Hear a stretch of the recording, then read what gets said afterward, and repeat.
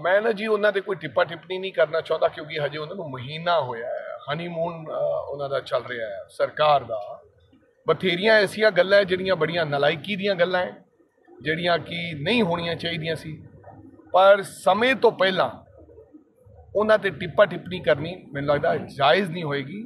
ਪਰਮਾਤਮਾ, ਮੈਂ ਤਾਂ ਇਹੀ ਕਹਾਂਗਾ ਤੁਹਾਡੇ ਚੈਨਲ ਦੇ ਰਾਹੀਂ, ਭਗਵੰਤ ਸਿੰਘ ਮਾਨ ਹੋਰਾਂ ਨੂੰ ਬਲ ਬਖਸ਼ੇ।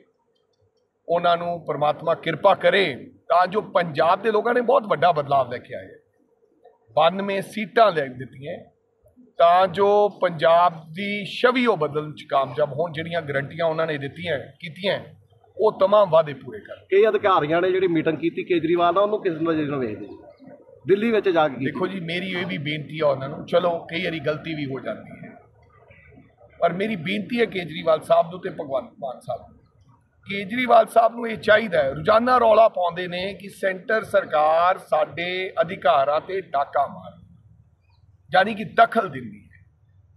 ਸ- ਉਹੀ ਕਹਾਣੀ ਪੰਜਾਬ ਦੇ ਨਾਲ ਹੋ ਰਹੀ ਹੈ। ਪੰਜਾਬ ਦੇ ਲੋਕਾਂ ਨੇ ਭਗਵੰਤ ਮਾਨ ਜੀ ਹੁਰਾ ਨੂੰ ਆਪਦਾ ਮੁੱਖ ਮੰਤਰੀ ਚੁਣਿਆ ਹੈ, ਨਾ ਕਿ ਕੇਜਰੀਵਾਲ ਸਾਹਿਬ। ਕੇਜਰੀਵਾਲ ਸਾਹਿਬ ਕਨਵੀਨੀਅਰ ਹੋਣ ਦੇ ਨਾਤੇ ਭਗਵੰਤ ਮਾਨ ਸਾਹਿਬ ਨੂੰ 100 ਵਾਰੀ ਸੱਦਣ।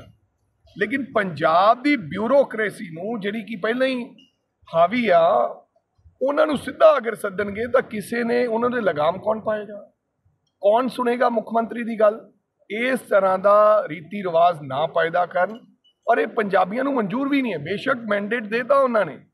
ਪੰਜਾਬੀ ਨਹੀਂ ਚਾਹੁੰਦਾ ਕਿ ਦਿੱਲੀ ਬਾਰਡਰ ਦਾ ਦੌਰਾ ਕਰ ਰਹੇ, ਜਿਹੜਾ ਕਿ ਸੰਵਿਧਾਨਕ ਗਲਤ ਹੈ। ਚੁਣਿਆ ਹੋਇਆ ਮੁੱਖ ਮੰਤਰੀ ਦਾ ਫਰਜ਼ ਬਣਦਾ ਕਿ ਉਹ ਬਾਰਡਰ ਤੇ ਗੇੜਾ ਕੱਢਣ ਤੇ ਅਧਿਕਾਰੀਆਂ ਨਾਲ ਮੀਟਿੰਗ ਲੈਣ ਸਾਡਾ ਹਰ ਇੱਕ ਪ੍ਰੋਗਰਾਮ ਦੇਖਣ ਅਤੇ ਸਾਡੇ ਨਾਲ ਜੁੜਨ ਲਈ ਸਬਸਕ੍ਰਾਈਬ ਕਰੋ ਬਨੇਰਾ ਟੀਵੀ ਅਤੇ ਨੋਟੀਫਿਕੇਸ਼ਨ ਲਈ ਬੈਲ ਆਈਕਨ ਤੇ ਕਲਿੱਕ ਕਰੋ।